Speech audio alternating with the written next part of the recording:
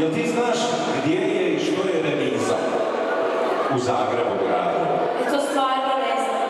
Pa to ti je tamo gdje se okreću tramvaj, ali jednako tako to ti je kao garaža od tramvaja u Zagrebu. A znaš da su tramvaji vrlo, vrlo značajno prijevozno sredstvo u Zagrebu, kako za učenike, tako i za starije odrasle osobe. A sve su